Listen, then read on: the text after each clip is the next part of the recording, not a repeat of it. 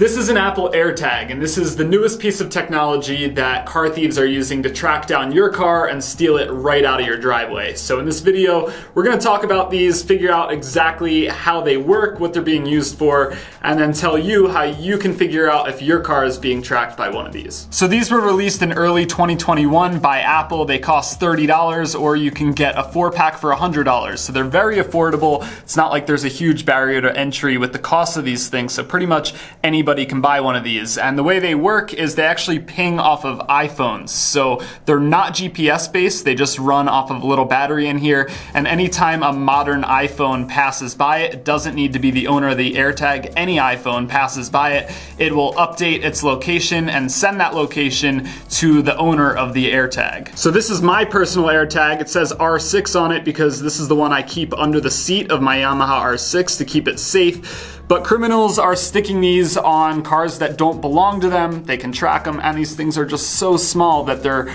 really hard for the owner to find and even know about. So uh, we have a brand new one right here that hasn't been registered yet to any kind of account. So I'm gonna have Tommy register this one to his phone, and then we're gonna sneak it onto my car and see how long it takes me to notice. So Alex, this right here is that little AirTag. We're gonna set it up with my iPhone. Now I'm gonna be really curious to find out. I'll be tracking you as you kind of drive along. I'm wondering if it's gonna send you a notification I'm hoping it will because otherwise you would literally have no idea that one of these is with you. Cars are huge, this is tiny, so. Like a hey, you're being tracked kind of deal. Yeah. So we've got a brand new AirTag here. I'm gonna set it up to my phone so I can track Alex as he drives along. What should I name him? Custom name. I'm gonna name it CD Behavior.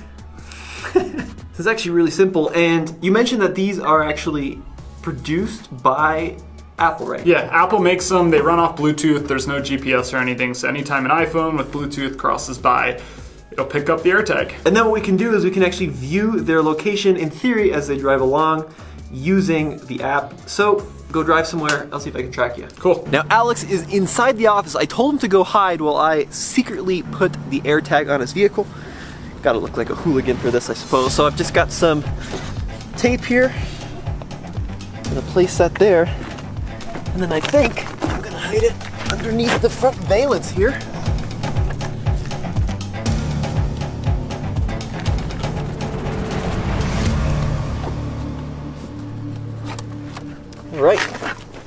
So if I was a real thief, I've got a lot of options. I could do it down here in the bumper. I think another common place would perhaps be up here in the wheel wells. Lots and lots of empty spaces to hide there. Certainly underneath, just a little bit of double-sided tape would be all it would take to get that on there. Rear wheel well, same thing. And then in the back, probably wouldn't choose the exhaust pipe because that would get hot, but certainly underneath the rear here, that would be a great place to hide it. All right, so leaving the office for the day, heading to my Jeep, and uh, I know Tommy hid one on here, but I'd have no idea if I weren't looking for anything. So I'm just gonna get in the car, start driving, and see what happens.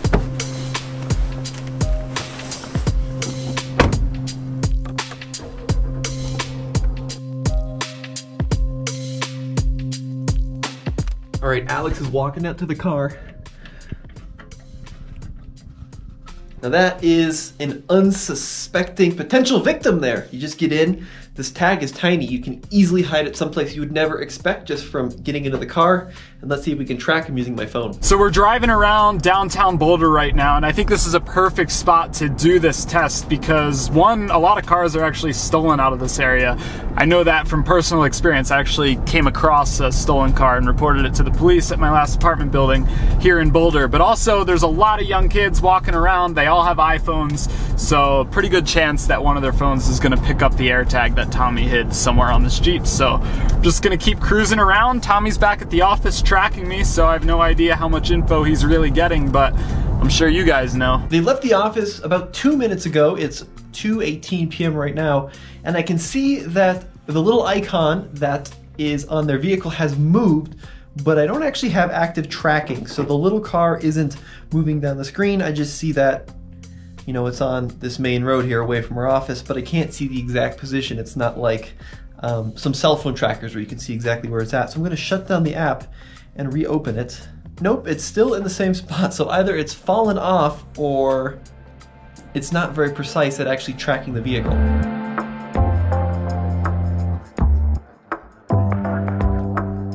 Right, so update. Alex has been gone for a few minutes now with the AirTag, and I saw his location kind of out here by the office. I saw it one more time, and now I'm kind of getting like this big blue circle, but not an exact location of where he went. It says approximate location.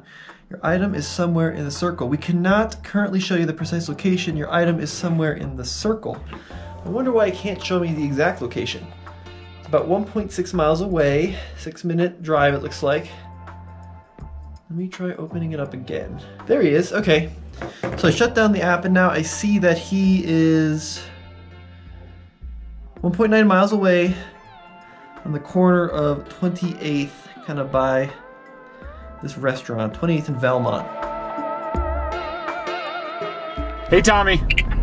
Hey Alex, are you guys still on the move? We are on the move right now. All right, let me see if I can pull up my phone and see where you're at. So it says your spot CD behavior updated two minutes ago, and last time I see you here, you're on 13th and College, right on what we call the hill in Colorado. Is that pretty close? Well, we are pulling up right now to a street sign. Let me see. I know we're pulling up to college. I don't know what street we're on right now, so hold on. We are at 14th in college. 14th in College. All right, mine just updated and it has you right at 14th in Euclid, 14th in College, right in the middle of the block. Wow, that is super close. Have you gotten any notifications that you're being tracked? I haven't gotten anything yet, but I know that's supposed to be one of the features with these, so. It looks like the tracking on your end's working, which is a little scary, and I'm not getting any kind of notification yet, so I think we need to keep driving around for a little bit. Oh, now it has you at 14th and college heading toward 13th. So what I noticed on my end, which is super interesting, is when you left the office, we're in a less densely populated area, it was really slow to update, but as you headed more toward downtown Boulder, where in theory there's a lot more iPhones near you, it started updating much more regularly. Yeah, if you're in a rural area, this might not work that well, but in a in a big crowded city, definitely working. All right, so definitely drive around some more, see if you get a notification, and then come to a stop somewhere and uh, give me a call, and I'll see if I can find your exact location. Okay, sounds good. Right. All right, bye. Bye. All right, so we've been driving around for over an hour. I can't get any sort of notification to show up on my phone telling me that an AirTag is traveling with me. Um, and I think that's kind of a fair result. You know, you wouldn't be looking for that if you didn't know it was there. So um, we're gonna park now and pull up to my favorite lunch spot, which is Cosmo's Pizza and just hang out. We're gonna shoot Tommy a call and see if he can uh, pinpoint exactly where we are. Oh, Alex is calling. Yo, what up, Alex? Hey, so I just pulled up to an undisclosed location as if I was parking at my house for the night and you were trying to steal my car.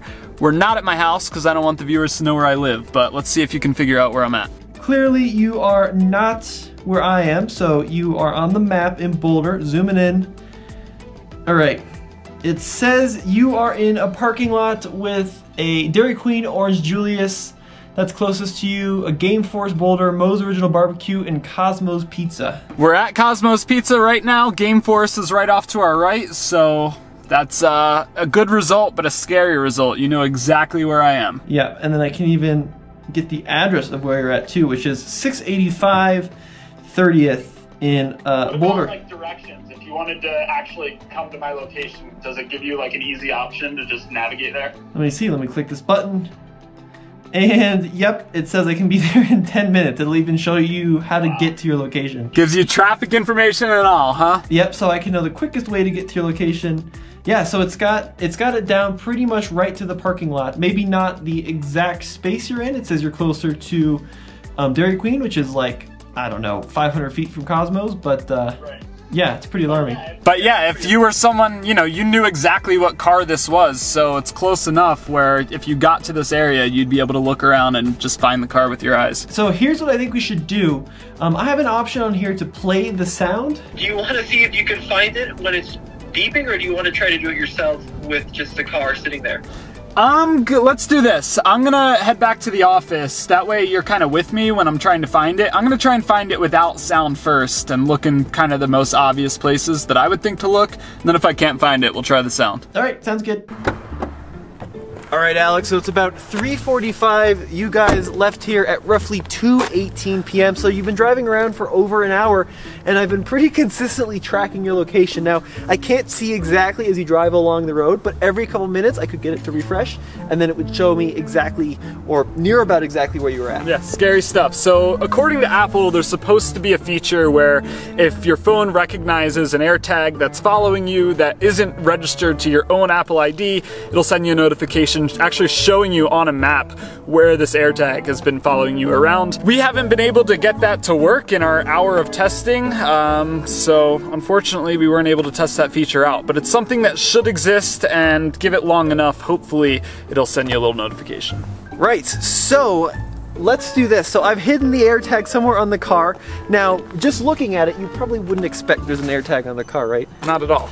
Yeah. Not at all. All right. Well, give it a good thorough look. See if you can track it down. Cool. So I guess first places I would look, maybe someone, you know, taped it behind a door handle or something. Super obvious one is the gas cap, although a lot of cars these days have locking gas caps, so not an option on every vehicle. This one does lock, so nothing in there. Let's see, under here maybe a good spot. Trailer hitch is always a good spot. So let's pull the hitch. Nothing in there, nothing on the inside of the hitch there, but that's a good place to look. Uh, this would be a great spot to hide one is in the little seven pin wiring harness. Just slap it in there, let the cover shut, it would hold it in, but nothing in there that I can see. I'll take a peek under. We're not going for a how-to, Alex, on where to hide AirTag. This is know, not but I'm trying to be thorough here, searching all the spots. I get it. This is not supposed to be an informational video on how to track someone, but it is worth noting these common areas where someone could have done it to your vehicle. Exactly. So nothing there. Wheel well's probably a good area to look, although these are pretty well sealed up. The spots he's picking are terrible. On the inside of a door handle, someone's gonna grab the inside of a door handle. Not the back seat if you don't have kids. Case does not approve. I don't remember the last time I touched my back door handle. Alex is bad at stealing things. I don't know, dude. I think I, uh, I think it's actually remarkably easy finding spots that are harder to find. There's a ton of places you can hide one of these little things on this car. Yeah, depending on the vehicle, you might have some recesses in the grill, and the AirTag is really, really small. You're gonna have to help me. I have no idea. Really? Yeah. So one of the features with these um, is that they're supposed to play a sound when you get that notification that we never got. So I'll have Tommy trigger the sound, so at least I'll know if it's loud enough to spot on my own. All right, this is the thief now triggering the spot. I hear something.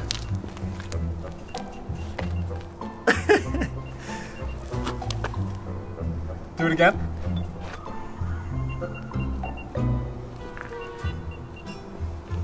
Oh, you're close. Sounds like it's coming from here.